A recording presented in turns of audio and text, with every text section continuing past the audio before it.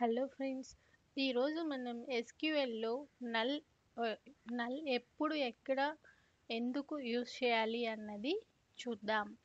So దీనికోసం నేను SQL సర్వర్లో employee అనే టేబుల్ని కన్సిడర్ చేస్తున్నాను. ఇక్కడ చూడండి ఈ కాలమ్స్లో కమిషన్ అన్నది one of the column so ఇక్కడ ప్రతి ఒక్క ఎంప్లాయీకి కమిషన్ రావాలని లేదు. సో కొందరికి వస్తుంది కొందరికి కమిషన్ అన్నది రాదు. అంటే మనం ఇక్కడ ఏమి ఇవ్వాలి వాల్యూ అన్నది మనకి తెలియదు రానప్పుడు ఏదో ఒకటి ఇవ్వాలి కదా అని ఇవ్వలేము ఇక్కడ. సో అండ్ వాళ్ళు ఏదన్నా బిజినెస్ రిక్వైర్మెంట్ ప్రకారం ఒక డిఫాల్ట్ వాల్యూ ఉందనుకోండి అది ఇవ్వచ్చు. అంతే తప్ప మనకంటూ మనం ఓన్గా అలా ఇవ్వకూడదు. మన దగ్గర డేటా లేనప్పుడు ఏమి ఇవ్వాలో తెలియనప్పుడు అటువంటి టైంలో ఒక కాలంకి నల్ అనేది ఇవ్వాలి.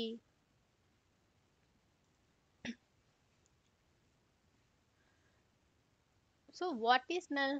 Null అంటే డేటా అన్నది మనకి absence. So absence of data and ఇంకొకటి చూడండి. మనకి ఆ కాలంకి ఏ వాల్యూ ఇవ్వాలి అన్న ఇన్పుట్ మన దగ్గర లేదు. అటువంటి టైంలో మనం ఏం చేస్తాం? నల్ని యూస్ చేస్తాం. అసలు నల్ అంటే మనకి ఏ డేటా ఇవ్వాలనేది తెలీదు. So unknown. ఒకవేళ ఇప్పటి వరకు అంటే ఆ డిఫాల్ట్ వాల్యూ అయితే ఉంది. బట్ మనకి ఇంకా ఏంటి? ఎంత ఆ డిఫాల్ట్ వాల్యూ ఏమి ఇవ్వాలి అన్నది మనకి ఇంకా ప్రొవైడ్ చేయలేదు. సో డేటా అన్నది అన్అవైలబుల్ ఆర్ ఇన్అప్లికబుల్ సో ఇటువంటి సినారియోస్లో మనం నల్ని యూజ్ చేయాలి. బేసిక్గా సింపుల్ అండి. నల్ అంటే నథింగ్ ఏమీ ఉండదు అక్కడ డేటా సో మామూలుగా అయితే ఇక్కడ చూడండి. ఇంటీజర్ డేటా అనుకోండి.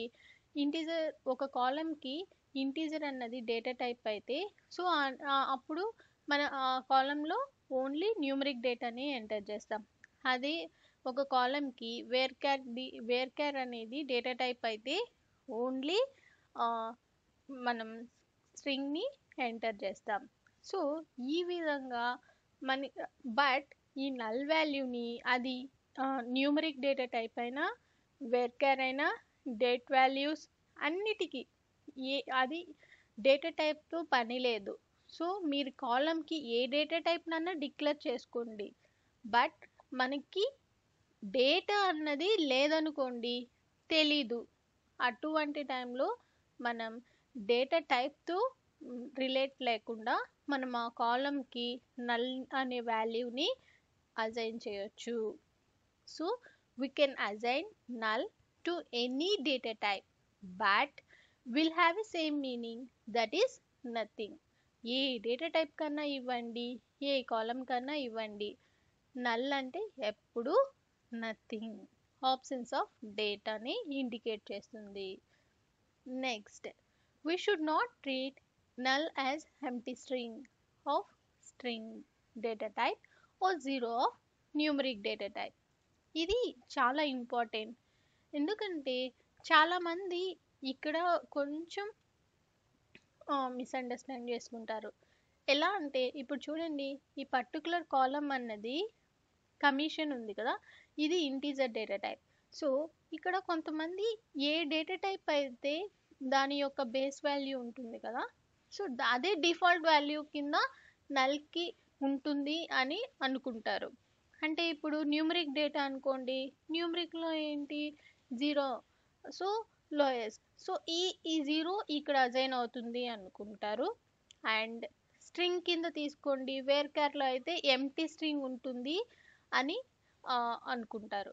సో ఇలా అంతా లేదండి. అది అది రాంగ్ అనమాట అలా ఎప్పుడూ కంపేర్ చేయకూడదు. నల్ అంటే unknown. Absence of data. So data అన్నది మనకి ప్రజెన్స్లో లేనప్పుడు నల్ ఇస్తాం. అంతేగాని ఆ నల్ని జీరోతో కంపేర్ చేయడాలు ఎంటీ స్ట్రింగ్తో ఇలా మనం కంపేర్ చేయకూడదు. ఇది చాలా important. So it is not ఈ జీరో అండ్ జస్ట్ ఈ missing data. So next we should not compare null with equal sign. ఎందుకు అంటే చూడండి అసలు నల్లో ఏముందో మనకి తెలియదు ఓకేనా? నల్ అంటే నథింగ్ అని తెలుసు. ఆప్షన్స్ ఆఫ్ డేటా అని తెలుసు. బట్ నల్ టు నల్ ఇవి డిఫరెంట్ సో అంటే ఏముంది అన్నది తెలియనప్పుడు మనం ఎలా కంపేర్ చేస్తాం? చాలామంది ఇంటర్వ్యూలో అడిగిన ఈ పర్టికులర్ క్వశ్చన్కి చాలాసార్లు మిస్టేక్స్ చేస్తుంటారు. సో గుర్తుపెట్టుకోవాలి. ఇది చాలా ఇంపార్టెంట్ అండ్ బేసిక్ కాల్ది సో ఇలా ఎప్పుడూ కంపేర్ చేయకూడదు. ఇప్పుడు నా రిక్వైర్మెంట్ ఏంటి? ఇక్కడ నాకు నా రిజల్ట్ సెట్లో ఎవరికైతే కమిషన్ వస్తుందో వాళ్ళ డీటెయిల్స్ మాత్రమే నాకు కావాలి. ఏంటి నా requirement? I need to get the details of an employees who are getting the commission. అంటే దాని మీనింగ్ ఏంటి? ఈ కమిషన్లో నల్ వస్తుంది అనుకోండి ఈ నల్ వాల్యూస్ అన్నిటినీ ఎక్స్క్లూడ్ చేసి మీ ఏదైతే డేటా ఉందో ఇన్పుట్ ఉన్న ఫీల్డ్స్ని మాత్రమే మనం ఫెట్ చేయాలి. సో అలాంటప్పుడు చాలామంది జనరల్గా ఇలానే రాస్తారు. Select so star from EMP employee table. But ఇప్పుడు మనకి ఏంటి కావాలి? వేర్ కమిషన్ నుంచి డేటా రావాలి. So commission. చాలామంది ఇక్కడే మిస్టేక్ చేస్తారు. ఏముంది? Not equal to null. Apply చేస్తే సరిపోతుంది కదా అనుకుంటారు. చూడండి. చూసారా? మనకేమన్నా డేటా వచ్చిందా? రాలేదు. బట్ కమిషన్ అయితే కమిషన్లో నల్ కాకుండా అయితే డేటా అన్నది ఉంది. ఓకేనా?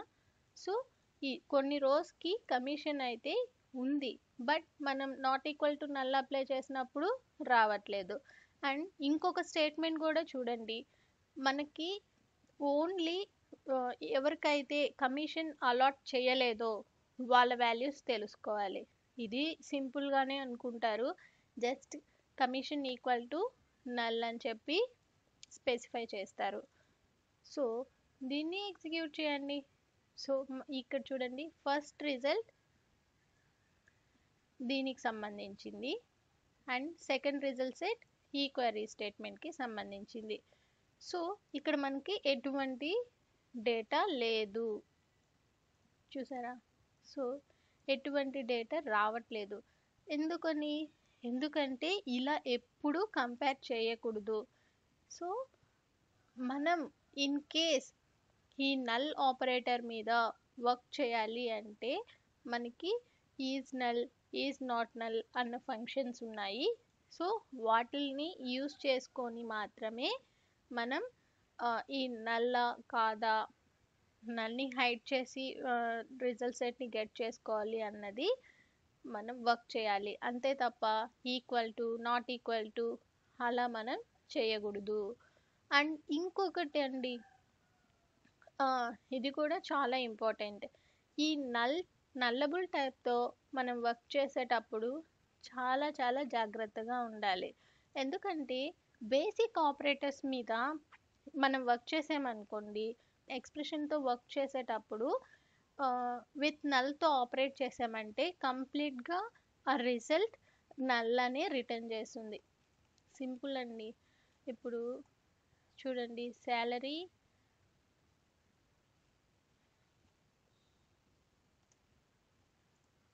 ప్లస్ కమిషన్ రెండు కావాలి నాకు.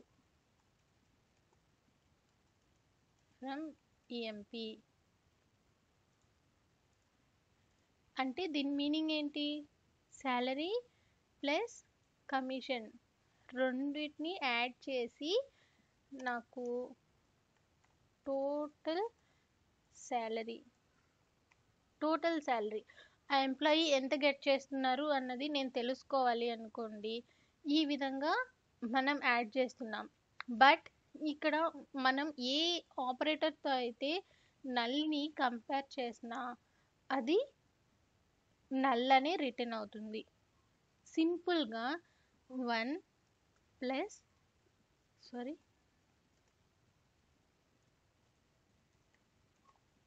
one plus null చూడండి. ఏమొచ్చింది? నల్. సో ఏదన్నా చేయండి. ఇక్కడ operator plus minus equal to no sorry greater than ఇలా ఈ బేసిక్ ఆపరేటర్స్తో మనం వర్క్ చేసిన మనకు వచ్చేది ఏంటి ఇన్పుట్ అన్నది ఈ ఎక్స్ప్రెషన్లో ఇన్పుట్ అన్నది నల్ అయితే మనకి రిటర్న్ చేసే వాల్యూ కూడా నల్లే ఉంటుంది. సో ఇప్పుడు ఈ స్టేట్మెంట్ని చూద్దాం. సో ఎగ్జిక్యూట్ చేశాను. ఇప్పుడు ఫస్ట్ స్టేట్మెంట్లో శాలరీ ఉంది. But eight hundred plus null. Eight hundred plus null. ఒక్క న్యూమరిక్ డేటా మనం నల్తో ఎడిషన్ చేస్తున్నాం. సో ఇక్కడలానే న్యూమరిక్ని నల్తో ఎటువంటి ఆపరేటర్తో బైండ్ చేసిన రిటర్న్ ఏంగా వస్తుంది మనకి? నల్. ఓకే? సో ఇప్పుడు చూడండి. చూసారా? నల్లు వచ్చింది యాక్చువల్గా అయితే మీరే చూడండి. సెలెక్ట్ స్టార్ ఫ్రమ్ ఈఎంపి ఈ టూ స్టేట్మెంట్స్ని నేను ఎగ్జిక్యూట్ చేస్తాను ఇక్కడైతే మనకి ఏం అవుట్పుట్ రావాలి? ఎయిట్ హండ్రెడ్ ప్లస్ నల్ అంటే మీరు అనుకున్న విధంగా ఒకవేళ ఇక్కడ జీరో నేను అనుకోండి ఎయిట్ హండ్రెడ్ రావాలి. బట్ ఇక్కడ నల్తో కంపేర్ చేస్తుంది కాబట్టి బేస్ వాల్యూ తీసుకోదు. సో రిటర్న్ చేసేది నల్లే ఉంటుంది. అంటే ఇప్పుడు మన అవుట్పుట్ ఏదైతే ఉందో అది రాంగ్ అనే కదా. సో ఇలాంటివి మనం చాలా జాగ్రత్తగా డీల్ చేయాలి. ఇలా ఎలా హ్యాండిల్ చేయాలి? ఫస్ట్ ఈ కాలంలో ఈజ్నల్ అన్నది ఈజ్నల్ ఆపరేటర్ని కమిషన్కి అప్లై చేసి ఏదన్నా ఒక డిఫాల్ట్ వాల్యూని ఇచ్చి సో తర్వాత మనం ఈ శాలరీకి యాడ్ చేసుకోవాలి. అంతే తప్ప ఎందుకు శాలరీలో నల్స్ అంటే నేను ఎందుకు కంపేర్ చేయట్లేదంటే ముందు ఏదైనా కానీ ఈ కాలం నల్ టైపా అంటే నల్స్ని అలో చేస్తుందా చేయదా అనేది తెలుసుకోవాలి. నల్స్ని అలో చేసే కాలం అయితేనే మనం ఎక్స్ట్రా కేర్ తీసుకోవాలి చెక్ చేసుకోవాలి ఇన్పుట్ని. చూసారా? ఇప్పుడు మనకి ఈజీగా రాంగ్ స్టేట్మెంట్ వచ్చింది. అదే ఇప్పుడు శాలరీ ఉండి ఇక్కడ సిక్స్టీన్ హండ్రెడ్ ఉంది ప్లస్ త్రీ హండ్రెడ్. సో ఇక్కడ నైన్ హండ్రెడ్ అన్నది కరెక్ట్ వచ్చింది. అంటే ఇన్ ఒక న్యూమరిక్ డేటాతో ఇంకొక న్యూమరిక్ డేటా టైప్ అయితే యాడ్ అయితే మనకి కరెక్ట్ వస్తుంది. బట్ ఒక న్యూమరిక్తో నల్ యాడ్ యాడ్ చేసామంటే మనకి ఏమొచ్చింది నల్లే వచ్చింది. ఎందుకంటే ఇక్కడ నల్ అన్నది ఇన్పుట్ ఫర్ ఇక్కడ నల్ వచ్చింది ఫస్ట్ రికార్డ్లో. అదే ఇన్పుట్గా మారింది కాబట్టి మనకి రిటర్న్ కూడా నల్లే వస్తుంది. సో మనం నెక్స్ట్ వీడియోలో ఏ విధంగా వీటి నుంచి ఏ గెట్ చేసుకోవాలి? ఏ విధంగా కంపేర్ చేయాలి? ఏ విధంగా నల్ని హైడ్ చేసి మనం రికార్డ్స్ని గెట్ చేసుకోవాలి అన్నది చూద్దాం. Thank you for watching the video please like share and subscribe to my channel